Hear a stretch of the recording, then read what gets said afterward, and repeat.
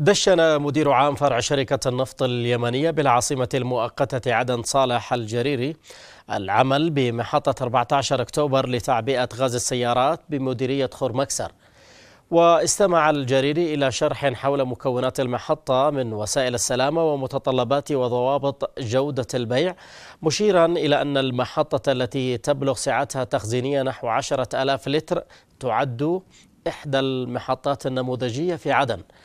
ومشيدا بمستوى التجهيزات الحديثة في المحطة.